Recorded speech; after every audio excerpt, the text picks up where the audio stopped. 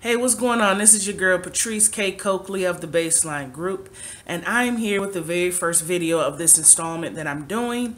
Um, it's no name or whatnot. I'm just going to be vlogging and just sharing some tips, tricks, ideas, um, advice, things of that nature via video. Um, it's time for me to put my face out there. It's time for me to speak more, and I need to talk to my people. Okay, so just consider this vlog number one. I am making that commitment no matter where i where i'm at no matter if i'm in the in a position to do some fancy editing no matter what i don't care what the obstacle is i will be doing these videos reaching out and talking to my folks okay? So with that being said let's just go ahead and get in start get get with it. Um i had a rough night last night couldn't sleep and I, I, know why. There was a lot of things going on in my mind. Um, well, a lot of things on my mind in regards to um, the nature of the world and just people in general right now. Not necessarily the world, but just people in general. I'm noticing that there's an epidemic with people talking more than they're actually doing. Okay, and it's it's funny is that it's something that's common, but you know when I'm interacting with people on a regular basis or encountering people, it's like their actions aren't aren't matching with what they're doing, or their actions aren't matching with what they're saying. Um, Mr. Knowles got a chapter. Mr. Matthew Knowles he has a chapter in his book called um, "Talk to Do Ratio," and it is super high right now. That talk to do ratio right now, it is super high, and I had to hop on and talk about it. Okay, this goes out to the artists, entrepreneurs, and, and business owners and professionals of the world. Right now is not the time to talk more than you do. You are literally doing yourself a huge disservice when you do that. And let me tell you why. Okay? Simple the you know, reason being we are at a time where every market, every industry is super duper saturated meaning that there's tons of people in your lane going in the same direction as you.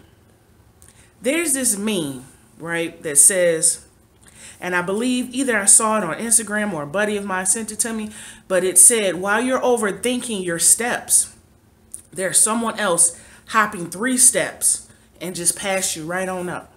Okay, that's how it really is out here. It is really like that, okay? This is why I'm real big on on on harping to people that you really need to put in the work. Okay? And I was thinking about this in my sleep last night and then I woke up and I started scrolling Instagram and I came across Gary Vee's um, Gary Vaynerchuk's uh, um, uh, Instagram story. And he had two wallpapers in there. One said put in the work. The other one said it's you versus you. And that is so like it is it is so true. You have to put in that work because you're not the only one out here doing what you do. Okay? There's other people. So people need to figure out why they should choose you over somebody else. Okay? You may not think that you're competing and you're different. However, what you're doing is competing with people's time and their money. There are so many options out here uh, for for me to spend my money on as well as for me to you know spend my time. Instead of working with somebody I could be watching uh, Diddy's thing. I could be watching Diddy's new uh, documentary instead of doing this video. I could be teaching instead of doing this. I could be doing this instead of doing this. And it's the same thing with money. I, I could be spending my money on A but I spent it on B. So why should people spend their money and their time on you that's what you're really competing with. And people really need to understand that. So as a result, we as artists, entrepreneurs, or whoever, you have to put in that work. You have to. If you're uh, if you're uh, if you play an instrument, you know, if you're a musician, you need to be playing your instrument every day.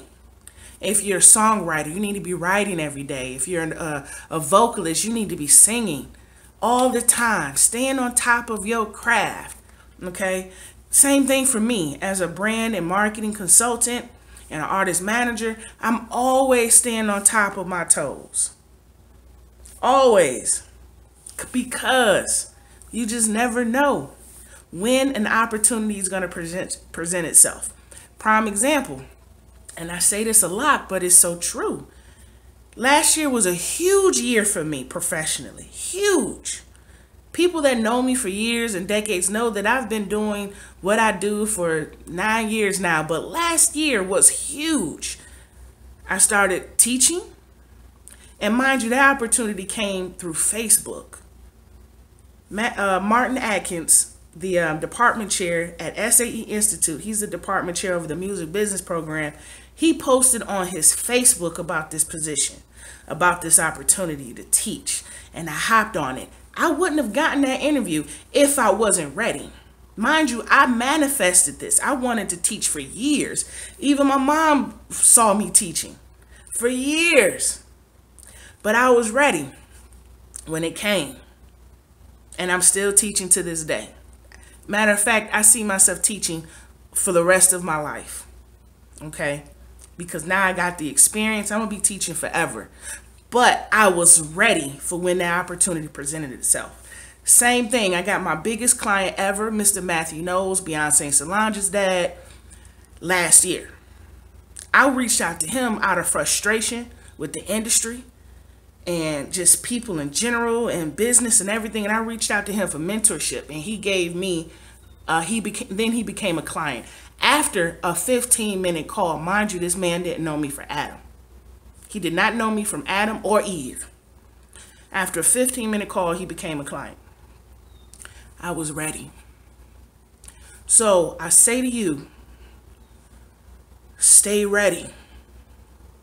But to do that, you have to put in the work because you never know when that opportunity is going to present itself. Okay. Another meme Gary Vaynerchuk mentioned was, uh, um, it was in his story. It said it's you versus you.